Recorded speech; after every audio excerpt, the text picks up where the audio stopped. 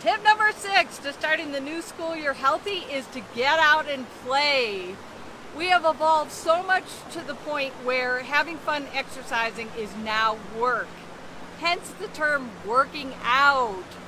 Instead, why not find something fun that you enjoy doing and just get out there and do it? Even if it's for just 20 minutes a day, that's at least something. And we know that being physically active at the start of school can certainly have so many benefits. You can sleep better, you can be more focused and have more energy. You can eat more to help maintain a healthy weight, and it helps reduce stress and staves off depression.